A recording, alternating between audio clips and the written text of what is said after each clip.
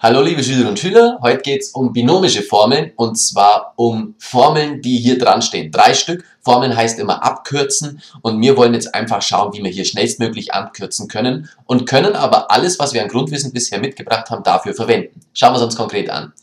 Diese äh, binomische Formel Warum heißt es eigentlich binomisch? Weil es ein Binom ist, also weil ein Quadrat dran steht. Muss man sich aber in dem Fall nicht merken, mir reicht es aus, wenn ihr das dann richtig rechnen könnt.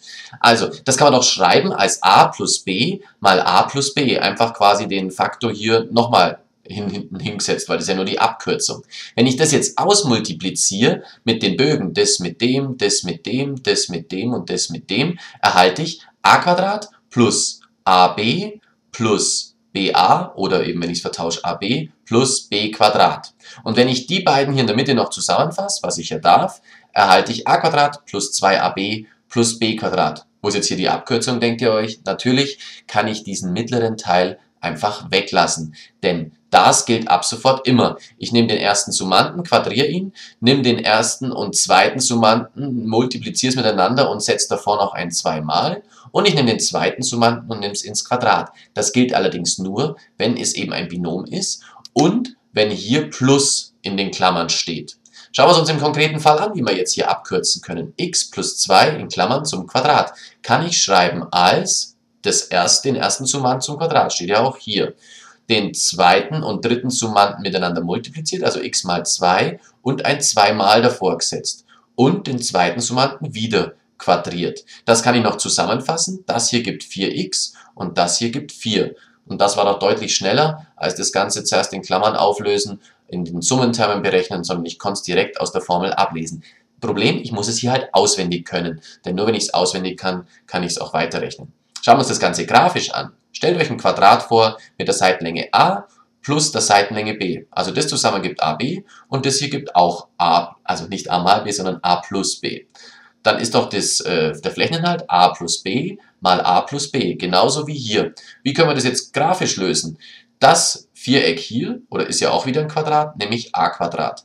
Das hier, das wird ein Rechteck, ist vom Flächeninhalt her a mal b, genauso wie das hier links unten. Und das hier ist b Quadrat. Also können wir auch hier sagen, a plus 2 mal a mal b plus b Quadrat, auch grafisch gelöst. Bei der äh, binomischen Formel Teil 2 ist der Unterschied, dass ein Minus hier in der Mitte steht. Wir machen es wieder mit den Summentermen, gibt a Quadrat minus a mal b minus a mal b plus b Quadrat. Aufpassen, minus b mal minus b gibt plus b Quadrat.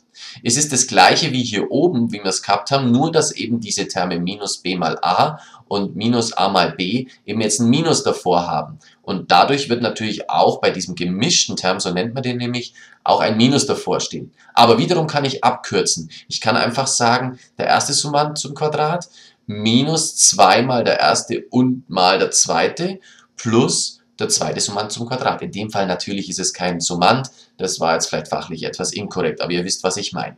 Nehmen wir uns ein Beispiel raus, 2 minus b, ich ersetze also das a durch ein Zweier, dann heißt es doch, das vordere zum Quadrat gibt 4 minus, weil das Minus hier steht, 2 mal 2 mal b, also aufpassen, hier dürfen wir nicht mehr minus b verwenden, sondern nur das b, sonst wird man ja hier wieder zum Plus auflösen. Also ich schreibe das Minus quasi ab und rechne dann 2 mal 2 mal b gibt 4b plus b Quadrat. Und auch hier konnte man ganz schnell abkürzen.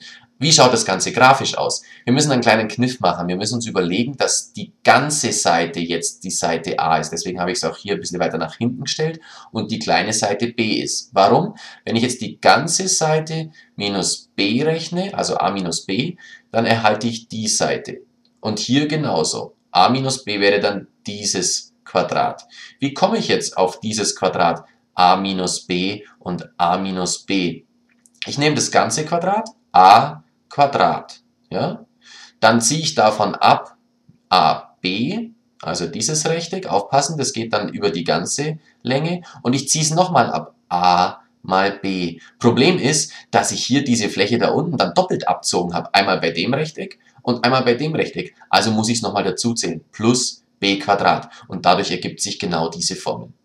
Schauen wir uns beim dritten an. Wenn ich hier äh, Summenterme multipliziere, also Bögen mache, dann halt, erhalte ich a Quadrat minus a mal b plus a mal b minus b Quadrat. Also, und das ergibt doch schön in der Mitte etwas, was rausfällt. Dann bleibt noch stehen a Quadrat minus b Quadrat. Auch das ist wieder eine Formel. Und im konkreten Fall nehme ich jetzt etwas Schwierigeres. 2z plus 3a mal 2z minus 3a. Also Bedingung ist, dass quasi dieselben äh, Zahlen oder Variablen hier stehen und hier auch, nur dass es einmal ein Plus dazwischen hat und einmal ein Minus dazwischen hat. Aber dann darf ich es eben schreiben wie in der Formel. Das hier vorne zum Quadrat, aufpassen, ich muss sowohl das 2, aber auch das z quadrieren, gibt 4z Quadrat, minus, weil hier in der Formel Minus steht, 9a Quadrat. Also den Dreier quadriert und das a quadriert. Das war's auch schon. Drei binomische Formeln haben wir kennengelernt. Wir können damit abkürzen. Es war jetzt ein bisschen viel Algebra und ein bisschen viel Geometrie. Wenn euch dieser Hefteintrag hier nicht reicht, dann ergänzt es einfach um das, was wir noch gemacht haben. Das, wo wir das Ganze herbracht haben. Wie kommt man auf die binomische Formel? Nämlich durch Summenterme multiplizieren und indem man die Potenzen anwendet und dann in der Summenterme, wenn man sie multipliziert hat, Terme zusammenfasst. Ihr müsst sie auswendig lernen und ihr müsst sie unterscheiden lernen. Ihr müsst wissen, was passiert, wenn ein Plus dazwischen steht, was steht, ein Minus dazwischen steht und wenn Plus und Minus dazwischen steht. Das nennt man auch die drei binomischen Formeln. Aufpassen, nur in der Konstellation gibt es die Formel, in keiner anderen. Aber das werden wir jetzt die nächsten Stunden auch noch kennenlernen. Bis bald.